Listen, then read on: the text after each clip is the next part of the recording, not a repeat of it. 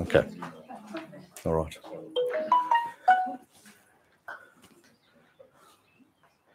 Well, good afternoon, everybody. Uh, friends gathered here today, and those that are streaming from somewhere around the world. Um, I just want to welcome you in and just to introduce Reverend Hilton Folkvane, who will be leading today's uh, memorial service for our mother Yvonne Willer. Thank you.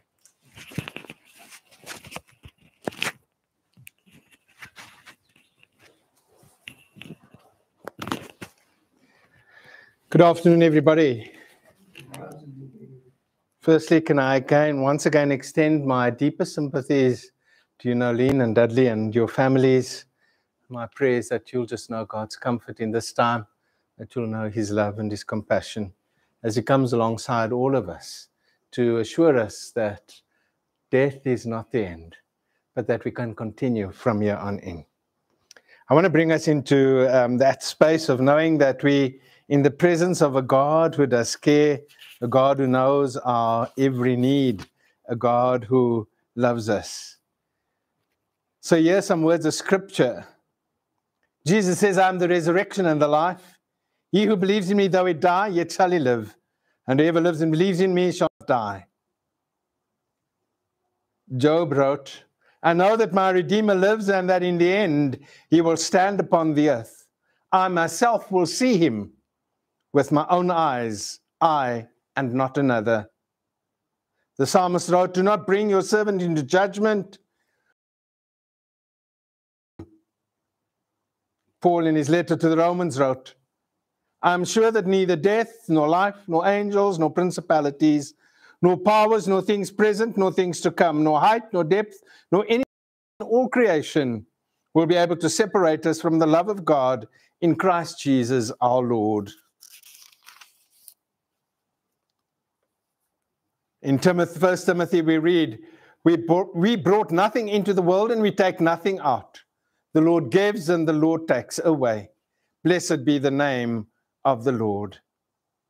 None of us lives to himself and none of us dies to himself. If we live, we live to the Lord, and if we die, we die to the Lord. So then, whether we live or whether we die, we are the Lord's. Let us also take comfort in the fact that the eternal God is our refuge, and underneath are the everlasting arms. Eye has seen, nor ear heard, nor the heart of man conceived what God has prepared for those who love him. And so we believe that Jesus died and rose again. And so it will be for those who died as Christians. God will bring them to life with Jesus. Thus, we shall always be with the Lord. So let us comfort one another with these words. Come, let us pray. Heavenly Father, in your Son Jesus Christ, you have given us true faith and a sure hope. We pray that you'll help us to live with those who believe in the communion of saints, the forgiveness of sins, and the resurrection to eternal life. We pray now that you'll strengthen us with this faith, that you'll give us this hope, and that will bring us comfort as we especially want to pray for Dudley, Nolene, Beth, Ashley, Calvin, Candace, Lauren, Michael, and all the extended family. That they may know that even in the presence of death, they can find compassion and love as they reach out to you and ask you to come alongside of them, whereas we, in a sense, bid farewell to a mother a grandmother, an aunt, a friend, someone we've come to love and who has loved us in turn. And so, as we approach your throne of grace and mercy at this time, gracious God, we depend on your word that you, in you, we have the everlasting arms to catch us in our time of weakness, in our time of sadness, and in our time of brokenness. For this is the prayer that we offer in the name of that same Jesus who rose again from the dead and who even brings us to life through him. Amen.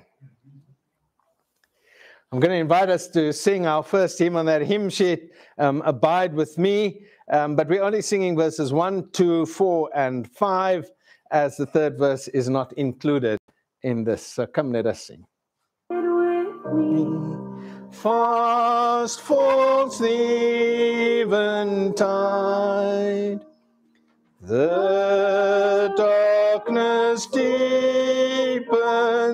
Lord, with me abide. When other helpers fails and comforts flee. Help out Abide with me. Swift to its close, ebbs out life's little day. Earth's joys grow dim, its glories pass away. Change and decay in all around I see. Although changes not, abide with me. I fear no foe, at hand to bless. Hills have no Hickman fears no bitterness. Where is death's sting? Where grave thy victory? I triumph still abide with me. Hold thou thy cross before my closing eyes. Shine through the gloom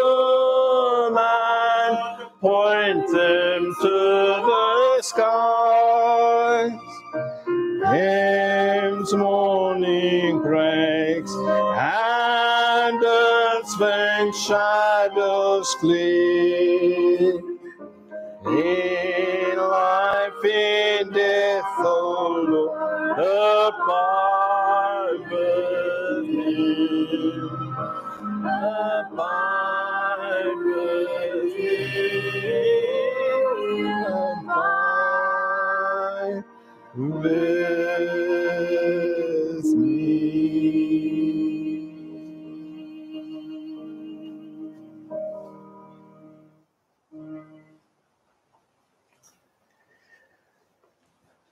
One of the ways that we celebrate life, and um, this is what Dudley asked me to do, is to make sure that we are celebrating um, his mom's life today, as we also come and obviously give thanks to God for her life, is to hear some tributes.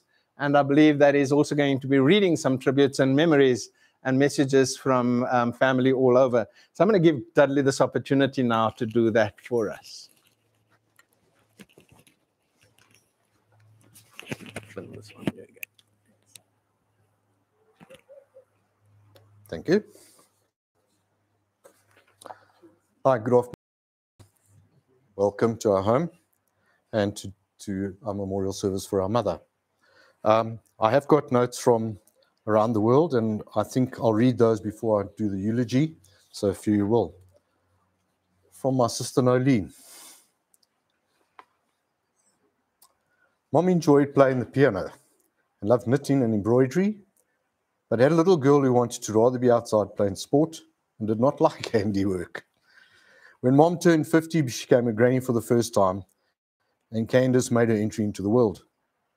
A lefty who scrambled up onto the piano stool at 18 months, she learned to play the piano and loved it.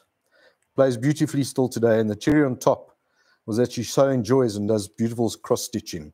So mom's dreams finally came true. When we went into hard COVID lockdown, mom stayed in Port Elizabeth for about four months. And with the single ladies in the complex, we got together for a chat on Fridays on our front lawns which mom also participated in and so enjoyed. One of the ladies, Tony, captured mom's essence so beautifully. She said, Yvonne was a game old bird who easily held her own. I admired her feistiness. Miss you, mom, but we know you're now with dad. From my daughter in Salt Lake City, Ashley. Hi. Hi, everyone. Mom reminds me, Granny reminds me of a pink rose, a timeless flower, a symbol of some very powerful emotions love, passion, and admiration. They are sturdy, beautiful, and fragrant roses are, just like our gran, and they've been known to provide healing properties too, just like her comforting presence. Roses with a unique combination of thorny stems and fragrant blossoms are often referred to as a symbol of achievement, completion, and perfection a summary of the life she lived in her marriage, as a mom, as a friend, as a member of her community, and as a grandmother and great grandmother. Pink roses specifically, as they represent femininity, femininity, refinement, sweetness, and elegance. She had the kindest smile and most gentle nature. She was always so beautifully put together and took pride in the way she carried herself. Pink also symbolizes the gratitude and appreciation that we all have for having had her share in our lives. Early Christian monks planted rose gardens on the grounds of their monasteries to represent the Garden of Eden, the earthly pure paradise. I picture her and Grandpa sitting side by side at this very moment in that Garden of Eden. Thank you, Gran, for your wisdom, your kindness, your love, and your guidance. Thank you for all the tea and biscuits, the Sunday roasts, the stories of your cheeky sense of humor. Thank you for being part of our lives until we meet again. Lots of love, Ashley. From our son Calvin in Zambia. My dearest grandmother, there's a special kind of love that we receive as grandchildren, a love that is filled with wisdom, love, care, and the hope of the very best for us. The knowledge that is passed down to us from stories of life and adventure is one that can only come from a grand. The special home cooked meals that always, without a doubt, fill that special spot that no one can even begin to describe. The unique way their grand knows their grandchildren in a way that not even our parents know us. All these unique grandmother specialities was exactly my grand. From the stories she sold around the table, in which her special Sunday roasts would be laid out for us, she told us of her travels and adventures, not only captured my imagination, but also taught me about the living of life without even realizing it. Gran was watching over you, even though you weren't aware of it, while you made life's mistakes and learned. She would later come to tell you that she'd seen it coming but couldn't interfere. But from a place of love and knowing that these lessons would make us stronger and help us to learn more about ourselves. These to me were the most amazing qualities that I couldn't understand how someone could know more about me than myself. Yet I've learned that this is the love and knowledge that only a grandmother can know. They cannot teach you this, but only show you. All in the meaning of love and the passing of their knowledge. I think the one I think one of the only lessons I perhaps didn't receive, and I'm sure you will know this, is not to chug a glass of champagne at fancy dress parties after the speeches when one is rather young. But this may be one of those times where she stood back and watched so that I could learn from my mistake. but I don't think I've learned that just yet. My gran was special. My gran was kind. My gran was loving and always kept sweets, just as a gran should. You'll always be missed and always be in our thoughts. The memories will always be with me, and I will do my best to pass down your knowledge given to me down to my grandchildren. For even our hearts, I will always love you, your grandson, Calvin. I then got a message from Paul Reed Robertson, Tracy, Mike Charmaine, and Tyron Bester. Dear Dudley, Nolene, and family, our sincere condolences on the loss of your dear mom. Yvonne was a lady with great values and a loving support to us when in our times of need. We are thinking of you at this time. Warm love. So that's what other people thought. And um, I just know that some people didn't cover all the detail. Can I do that now? Right. So mom, mom was born in March 1935 and sadly passed just four days prior to her, her 87th birthday. She was born to uh, Gordon and Maisie Mitchell, who were biological parents, and she was the younger of three siblings, one of which was Arthur, her older brother, and her sister Rona, both who have predeceased her. Through circumstances of life, unfortunately, mom's parents passed and she was adopted by her direct uncle and his wife um, when she was about eight years old. The parents of our, our, our parents, our, our, our mothers and fathers and their, their grandfathers, were rooted down in World War II. Mom being born in 35 was right into the midst of us and had a huge impact on their lives and their, their, their formative years. And, and I hope that COVID doesn't prove to be the same problem for our, for our generations, as it were. After her father returned from, North, from the North African war zone, he came back and was employed as a steam locomotive driver, although he was qualified as a boilermaker because that's the job the war, post-war allowed him to enjoy. But there was a, a later benefit to that job. Mom was in, educated at N Street Convent, which is down in the uh, east end of Johannesburg City. And uh, she stayed with her grandmother at that time in the city center to be able to commute to school and things like that. Anyway, the rule was when my grandfather did a long trip down to the Cape uh, or Natal or wherever on the train, when he came back in Johannesburg, the train line used to run past the convent. And so he used to give a certain signal on the hooter. that did not enamor my mother to the to the nuns and the and the uh, sister superiors, and she was many a time chastised for this. And on occasion, her friend who used to laugh with her was sent outside to wave to the train drivers. That was no punishment to my mother because her dad was on the train. So you know, there was a benefit to that. Anyway, mom met dad when she was 16 years of age. He lied and said he was 20. Um, and to, to avoid him knowing that she was still at school, she used to walk a certain route to work, not to school, I mean, to convent. And there was a building with something municipal building. And she decided that since he worked with the municipality, that was it. So she changed her route to school for a much longer route. As it turned out, he wasn't in that building, he was a building on the other route. and so he, by coincidence, used to see her walking past. And the whole object is that he didn't see her in her school uniform. She didn't win that one. Mom then attended, went on to attend college and completed something you ladies will not know. It's called shorthand typing. Margie, you know that. Yeah, she did the and on Tishul, of course, would know that. So she became very proficient at shorthand typing. And uh, in her early year, working years, she uh, joined Shell South Africa. Uh, she left at some stage to, I think, have me. And she then went back into commercial industry and joined BP South Africa, the MNME, as it happened. Well, that's just the way life is. And then I think she left there to have Nolene. Um, the point was that uh, mom and dad then got married in 1954 in February, and my mom was 18. At that point, my dad had to declare his age. He was 26. You do the numbers. Easy trip. It was eight years, not the four years that he lied about. Nonetheless, um, she continued to work and helped with, with the house uh, running of and whatever for Nolene and I when we were youngsters. And mom was one of those mothers that just patently just got on with it quietly at most times.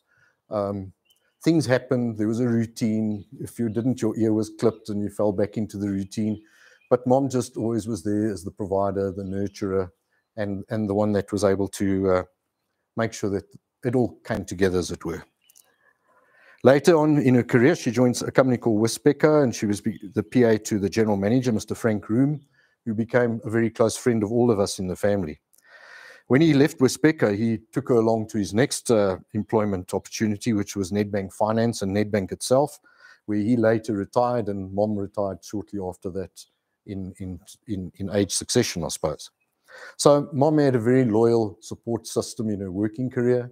She had people that admired and certainly took cognizance of her abilities and her shorthand typing skills. Okay. Um, mom as a mother, as I said just now, was one of those people who just, as I said, made it happen. It just got on things. You got there, the sheets were washed, the bed was tidied up, and it wasn't always mom doing it. She just marshaled it from somewhere. And uh, in the evening after after after supper, it was always about the family getting around in the kitchen and finishing off the dishes and things like that and mom was you know around and dad and everybody else so it was a very family orientated lifestyle in our home when we when we when mom got older and this time had passed and we were no longer jumping to attention as fearfully as we used to. Uh, we still had to jump to attention. Um, the, systems changed a bit, and mom became a little bit more of a, if I can use the word, a friend. Um, we were able to go and talk to mom, and mom would give us advice, and mom would give us a bit of direction. Sometimes not even if she was invited, um, we would get it anyway. And then more lately, when when mom's uh, and mom was living on her own, um, you know, it, it, was just so easy to go and listen to because mom always had a story to tell. Mom always had something to share with you. It was never a, a quiet, silent moment. Mom didn't tolerate silent moments. They weren't the way it was. But it was always something that mom had wanted to tell you, discuss with you, had seen during the day, had, had met at church or wherever it was. So she, she was a, a sharer in that sense. Unfortunately, um, mom in 2017 broke her hip and uh, subsequently broke it again. And that was hugely debilitating for her movement.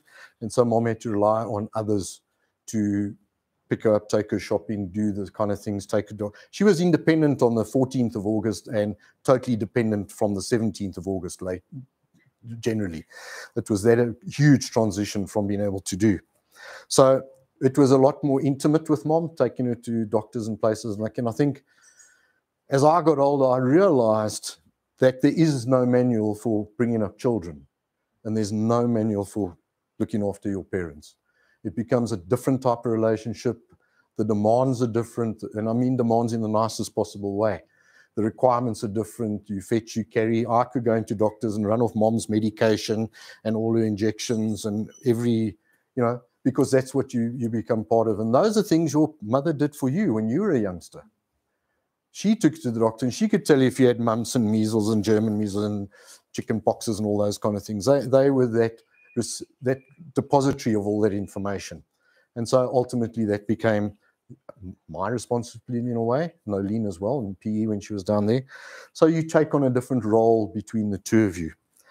In the very last couple of months, we moved mom into a higher care facility in, um, in the East Rand um, with a lot more sociability, a lot more people around, uh, because living on her own and having a carer just wasn't uh, wasn't suitable anymore. And so it was a second chance at life. And then sadly, uh, Friday the 18th appeared, and without without any warning or knowledge, uh, mom had a huge attack and uh, passed on later that afternoon. So we miss our mom. There were times when she frustrated for sure. But there were many more times when she made life fun, light-hearted, challenging sometimes.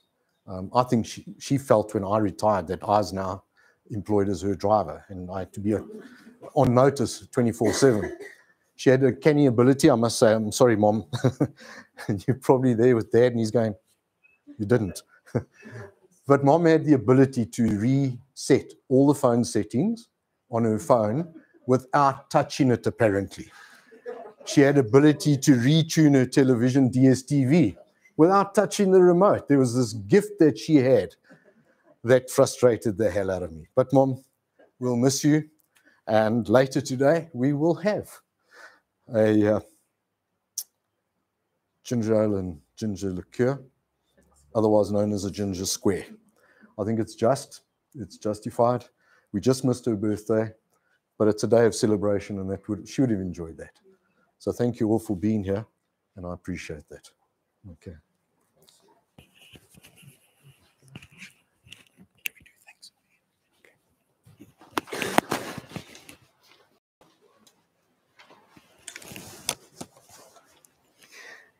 Thank you very much for that. It is it is really um, a good tribute, a good celebration of mom's life, and a capturing of everything that she me- meant to you. I met her very briefly the last time I did the service here for Isabel, and and we had a good good chin wag um, over there at the back, uh, and and I think um, I listened, but it was it was wisdom that she shared. so I really appreciate and thank you for allowing me into this space, this this intimate space of yours to share in this holy moment when you come and say goodbye for a while to your mom. I was told that the hymns and, uh, uh, were all chosen by by um, Yvonne herself. Um, Abide with Me, Psalm 23, which we're going to sing later, as well as Psalm 90, which we were supposed to sing. Um, but Dudley and I agreed we're not going to sing Psalm 90, um, but instead I would read it and I would reflect on that psalm, um, since it was her chosen psalm um, uh, for us to be shared at this time of her life. And so allow me um, firstly to read from Psalm 90. But I'm going to read also from John's Gospel, chapter 14. Psalm 90 um, reads Lord, you've been our dwelling place throughout all generations. Before the mountains were born, or you brought forth the earth and the world, from everlasting to everlasting, you are God. You turn man, man, men back to dust, saying, Return to dust, O sons of men. For a thousand years in your sight are like a day that has just gone by, or like a watch in the night. You sweep men away in the sleep of death. They are like the new grass of the morning. Though the morning it springs up new, but evening it is dry and withered. We are consumed by your anger and terrified by your indignation.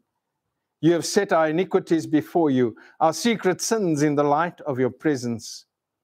All our days pass away under your wrath. We finish our years with the moan. The length of our days is 70 years or 80 if we have the strength. Yet their span is but trouble and sorrow, for they quickly pass and we fly away. Who knows the power of your anger? For your wrath is as great as the fear that is due you. Teach us to number our days aright, that we may gain a heart of wisdom. Relent, O Lord, how long will it be? Have compassion on your servants. Satisfy us in the morning with your unfailing love, that we may sing for joy and be glad all our days. Make us glad for many days, as you have afflicted us, for as many years as we have seen trouble. May our deeds be shown to your servants, your splendor to our children. May the favor of the Lord our God rest upon us.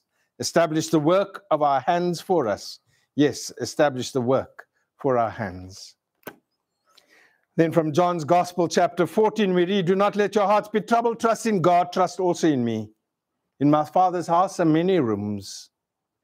If it were not so, I would have told you I'm going there to prepare a place for you. And if I go and prepare a place for you, I will come back and take you to be with me, that you may also be where I am. You know the way to the place where I'm going. Thomas said to him, Lord, we do not know where you are going. How can we know the way? And Jesus answered, I am the way, the truth, and the life. No one comes to the Father except through me. And then from verse 27, we read these words Peace I leave with you, my peace I give to you. I do not give to you as the world gives. Do not let your hearts be troubled, and do not be afraid. This is the word of the Lord, and we give thanks to him for his holy and precious word.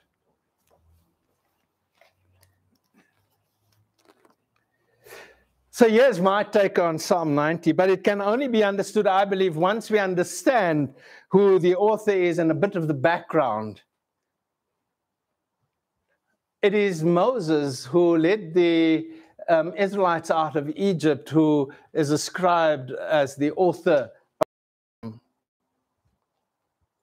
Moses lived a very long life. He lived up to the age of 120 years. And I believe in those 120 years, he had seen a long life. He'd seen a lot about what life has to offer. In Psalm 90, we just read that our lifespan is, is 70 years, 80 if we are fortunate. Your mom has surpassed even the 80, the psalm that she chose us to read from. In verses 3 to 4, we read these words You turn men back to dust, saying, Return to dust, O sons of men, for a thousand years in your sight are like a day that has just gone by, or like a watch in the night. The reality, friends, is and family is that even though one lives a long life, it can pass by just like that. And I believe that that is what God intended for Moses to what God intended Moses to, to, to, to write for us to understand. that no matter how long we may live life, it can pass within a moment. When I spoke to Dudley, I asked if Yvonne was ill, and as you heard him say, it was very, very sudden, her passing. It came obviously as a surprise. You see, what scripture often also says is that we don't know when our time on earth will come to an end. We can have a short, good life, or we can have a long, good life. And I want to believe that he had a long, good life. But as long as life can be, even the 120 years that Moses had, had, share, had spent here on earth, it is nothing compared to eternity which God affords us. Someone once suggested that if we were to walk into a building and look for the storeroom, but open the wrong door and peer into it and see that it is actually the cleaning closet, we would quickly close that door and forget about the experience. Our life compared to eternity is like looking into that closet, it will quickly pass away. But we also learn from this psalm that God has always been a shelter for those in need of help. Moses wrote, Lord, you have been our dwelling place throughout all generations. And I want to think that that is exactly what even Yvonne knew. And maybe that's one of the reasons why she chose this psalm. She knew God to be her dwelling place, especially when she found herself struggling through life. You see, people don't choose. I, when I read through this psalm, I try to understand why would it be that, that Yvonne would want to choose this particular psalm. And I don't think that people would choose a psalm like this for no reason. But let us think of Moses again for a while. Moses may have seen it all, he experienced it all. He lived it all. He, ha- he had the experience, the ups and downs of life, the poor life, the good life. Moses even experienced the life of sin, the life in God, caring and directing his life. Moses lived a full life. Yvonne, as I said, had a full life, experienced it all. And maybe some of you would know some of what she had experienced. But God knew all that she had experienced. Maybe she even chose the psalm to comfort you the best way that she could, knowing that you're going to battle with, with her death. Because if you will understand what the psalm is also saying. It says that God is our shelter. It is in God that we, we can come to, to find a safe place during a season like this, a season of mourning, a season of heartbreak, a season of, of not knowing which way we need to go without mom being there anymore. Because I, I'm, I'm sure you've already waited for that phone call for mom to phone you to say, My TV has changed. My cell phone is not working. to pick up that phone to look for that message. And, and those are the things that will happen. So whenever you look back, you will think of the things that, that you had experienced with her. But know this God knew every experience that Yvonne to go through the good and the bad, the joys and the sorrows. And maybe, as I said, that's why she chose the psalm for you to read, to know that God is the one that we need. You see, if you will turn to God, He will be the safe place for the season, as I said. But in this psalm, I also get the impression that Moses realizes that God is a merciful, loving God who will turn away from his wrath and give hope to those who seek him, those who seek him, especially in a time of need and in a time of pain. Because Moses writes, Relent, O Lord, how long will it be? Have compassion on your servants. Satisfy us in the morning with your unfailing love, that we may sing for joy and be glad all our days. Yvonne knew that she could go to God for shelter, for love, protection, for guidance, for wisdom. And yes, so often we think that we get all our wisdom only from those we, we, we may know. She knew. And even the wisdom that she may have imparted with all of you is the wisdom she received, I believe, from God.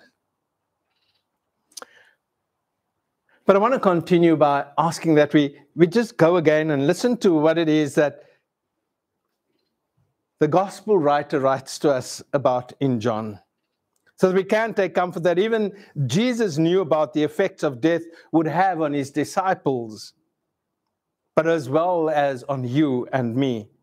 And I think that that is why he tried to prepare his disciples for his imminent death, because that is the time that he had spoken to his disciples. It was just before he was about to be crucified. Jesus speaks about going away, but also about making promises about eternity. And this promise was not only just for the disciples who walked with him for three years, but it is also a promise made to you and to me. A same promise that was also made, I believe, to Yvonne while she walked among us. But there are also other promises as well in that message that he gave them more promises for you and me. So allow me just to share three. First, there is this promise of a new home.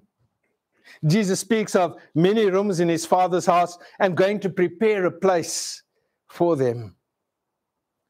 I would want us to take comfort from that promise in that Yvonne now inhabits one of those rooms that he personally went to go and prepare for her.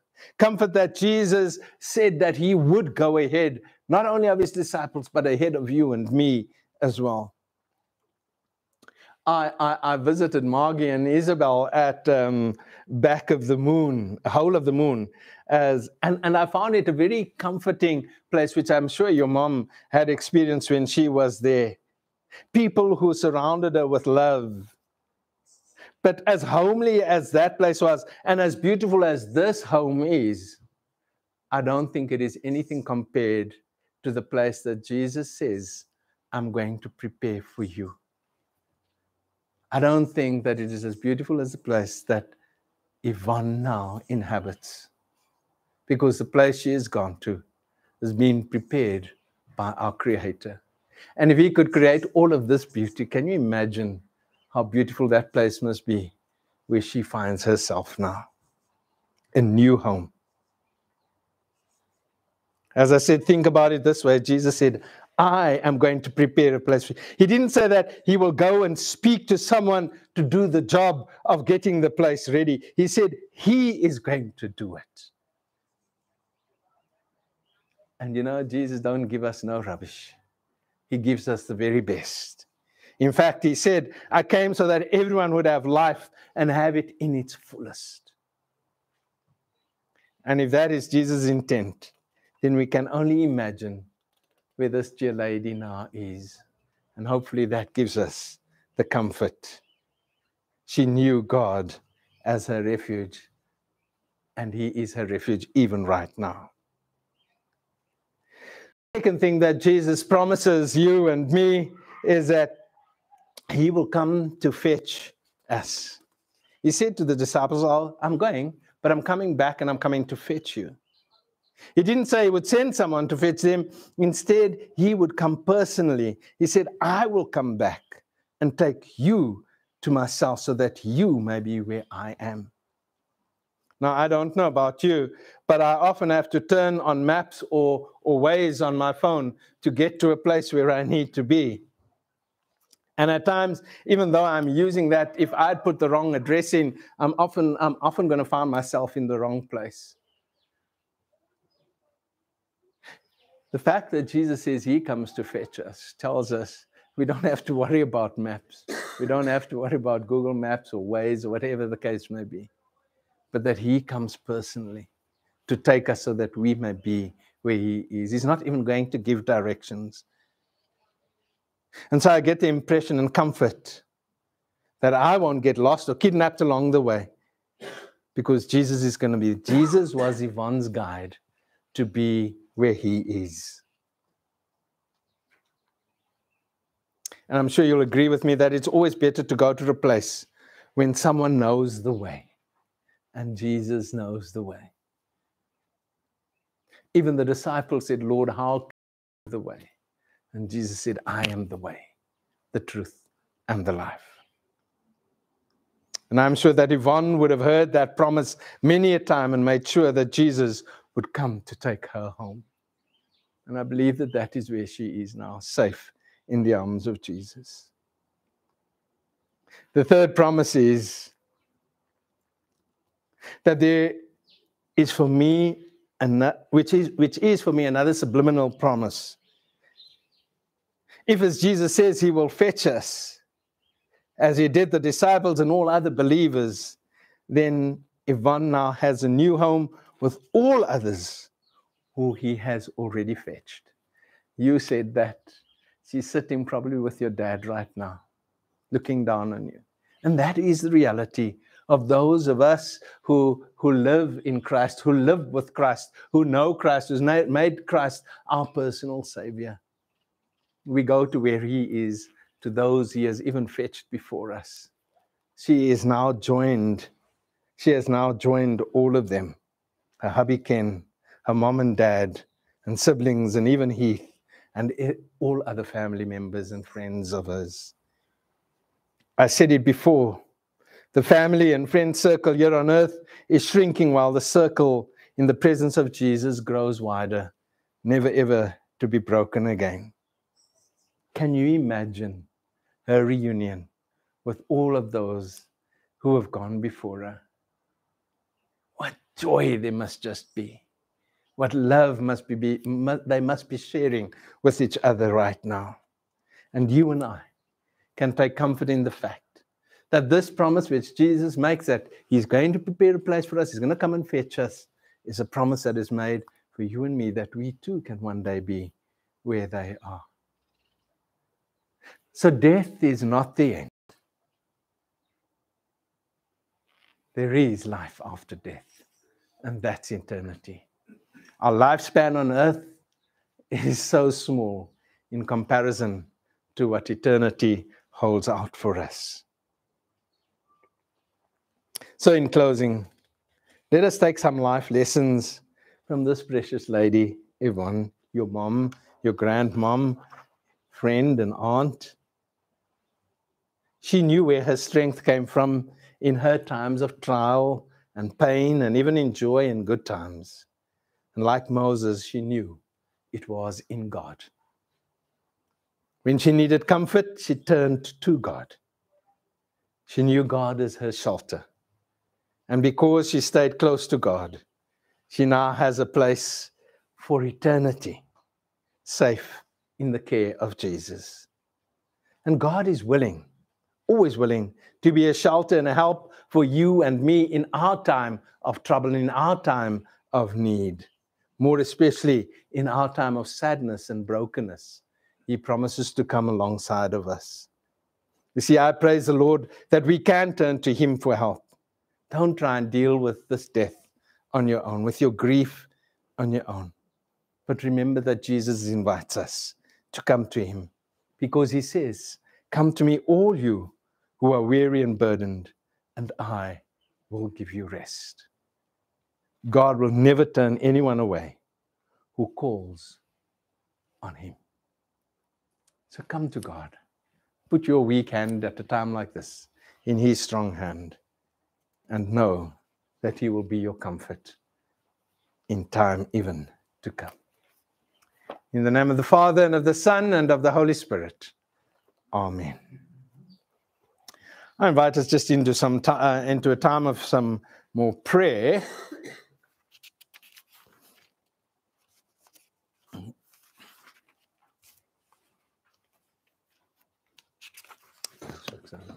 This book. Sorry.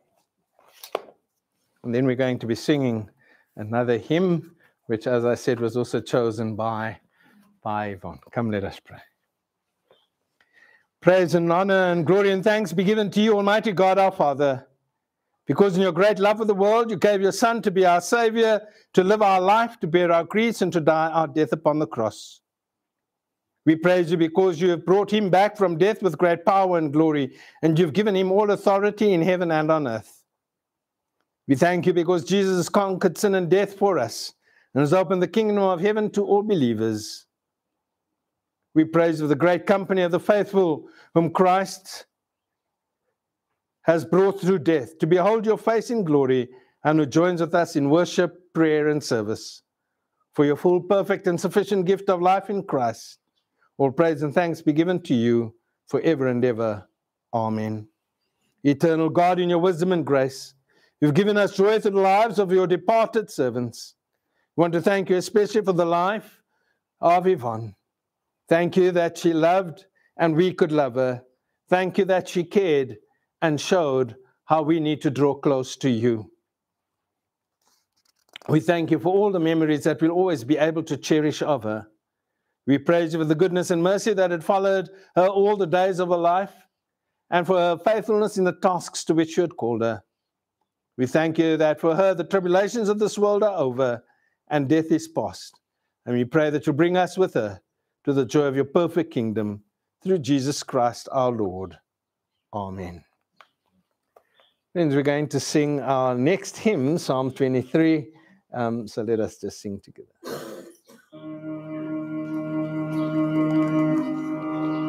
Oh, sorry.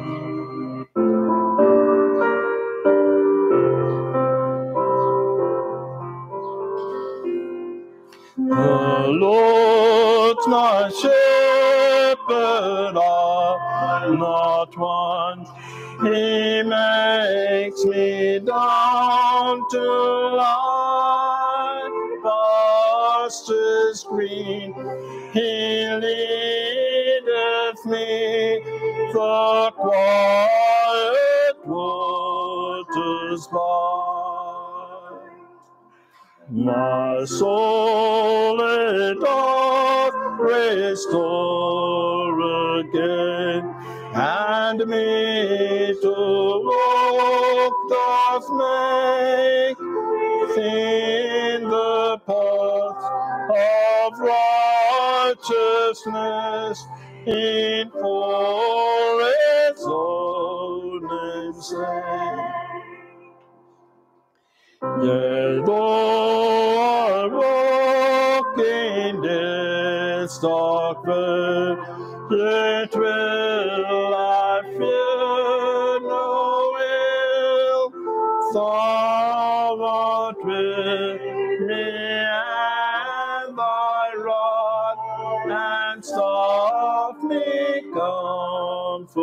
still. My table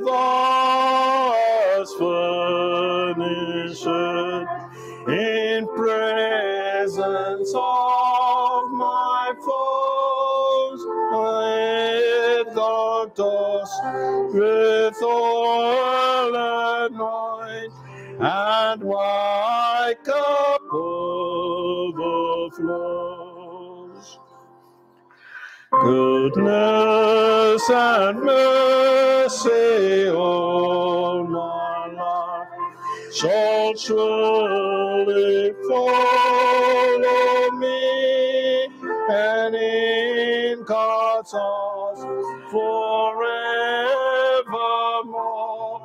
My dwelling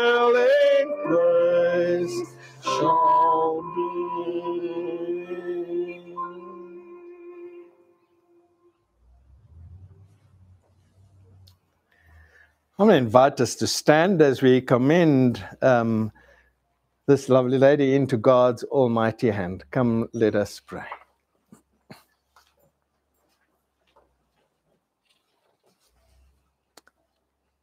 Merciful God, you've made us all and given your Son for our redemption. We commend our sister Yvonne Lillian Willer to your perfect mercy and wisdom, for in you alone we put our trust. For as much as our sisters departed out of this life, and Almighty God in His great mercy has called her to Himself, we therefore commit her elements ashes to ashes and dust to dust, in the sure and certain hope of the resurrection to eternal life through our Lord Jesus Christ, to whom be glory forever and ever. Amen. Amen. I heard a voice from heaven saying, From henceforth blessed are the dead who die in the Lord. Even so says the Spirit, for they rest from their labors. We continue in prayer. So, merciful God, our Heavenly Father, who made your Son, Jesus Christ, to be the resurrection and the life. Raise us, we pray, from the death of sin to a life of righteousness, that when we depart this life, we may, with our sister Yvonne, be found acceptable to you for the sake of your Son, Jesus Christ our Lord, who lives and reigns with you in the unity of the Holy Spirit, one God, world without end. Amen. Father of all, we pray for those whom we love but see no longer. Grant them your peace and let light perpetual shine upon them, and in your loving wisdom and almighty power, work in them the good purpose of your perfect will through Jesus Christ our Lord. Amen. Amen. Almighty God, Father of all mercies and giver of all comfort, we pray once again that you'll deal graciously with Dudley and Nolene, Beth, Ashley, Calvin, Candace, Lauren, Michael, and all the extended family, that they may know they can cast every care on you and know the consolation of your love through Jesus Christ our Lord. Amen. Holy Father, grant us in all our duties your help, and in all our perplexities your guidance and in all our dangers your protection, and in all our sorrows your peace. Through Jesus Christ our Lord. Amen. And just before you may be seated, just before we do say the grace, I'm going to ask Dudley to come and do the vote of thanks.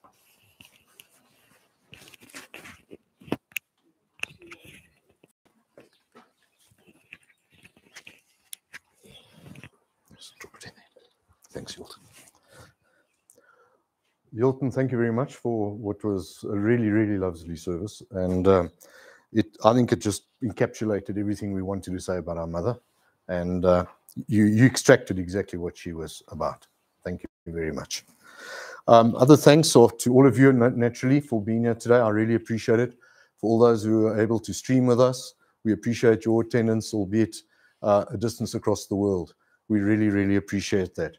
In, in thanks, I'd just like to on behalf of Nolene and uh, myself, just thank Beth for your support and help in getting us to where we are today. Often um, siblings don't always agree quite so quickly. so when you have a, referee that's a little bit less neutral, it works. to Lauren and I see Bernie's on the board. To Lauren and Bernie, you know, whenever we needed you to step up to go and help with mom, um, you did it, and and you you can't understand just how much we appreciate the, you you being there. Thank you very much. Um, you know, there are others here today that are family, and we thank you for your support and love and all the wishes that you do give us. But if you'll forgive for a moment, that we thank Elna and Peter especially, uh, and I mean especially as in Elna, I am singling you out, who at the same same point as Lauren and Bernie would drop anything and go and help with mom. Um, when we moved mom in the middle of January, I specifically asked Elna to babysit her for the day, just just to reduce the trauma of trying to move. You know, somebody of her age having to move accommodations and that is a very traumatic thing. And I couldn't think of anybody else who would be more fitting to, uh, to assist with that. So Elna, thank you very much. We really, really appreciate your your input. And Peter, the support you give Elna for the work she does at the church and with others is, is really commendable. Thank you very much. True. Mike, you know, is another chap who lived in the same complex as mom and dad. He knew mom and dad exceptionally well. Um, but he was gifted with the talent of just looking at a remote control and un, un, unfixing the fixes. And and Mike never never wavered and you know, he'd, he'd get a milk tart and go and visit mom with his with his daughter on a weekend and at any time basically. So you know, there is people amongst us as well today. So we acknowledge and thank you for that support. It really is uh, super special. And Auntie Marg, who more recently became mom's listening post. Um, and I know that sometimes neither of you listened, but both of you spoke. and that's fine because you were both happy there. So, you know, thank you very much for that. And then those, as I said, you're streaming. We haven't forgotten those that have done special things. Um, we know the people down in Port Elizabeth who rallied around Nolene and rallied around mom whenever she came to Port Elizabeth to visit. We thank you out there to Jean and, Ashley in the States. Um, it's an early start for your day, but we, we are grateful that you did participate and that you are here and that you understand the, the, the thanks that we are making to you for the, you know, the times when you did phone and made sure that Granny was ready with the with a cell phone to to take the voicemail calls or the what do you call those things?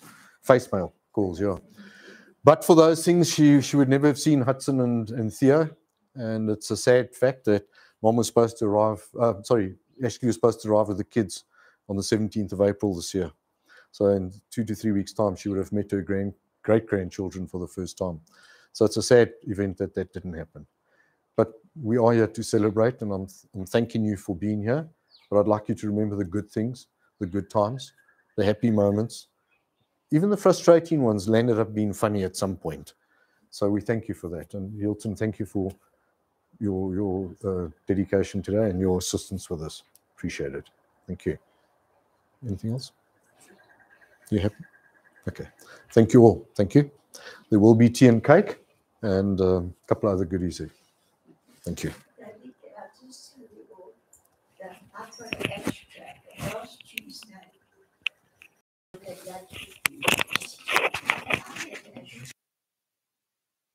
Blessing.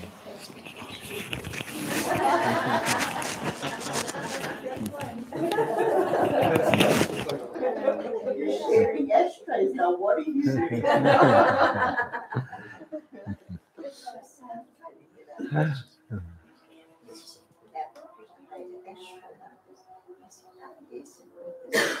He wasn't sending me, but she gave me a little box with a lot of things Anyway, come let us close in prayer. And so now, may the grace of our Lord Jesus Christ and the love of God and the fellowship of the Holy Spirit be with us all now and forevermore. Amen. God bless you all.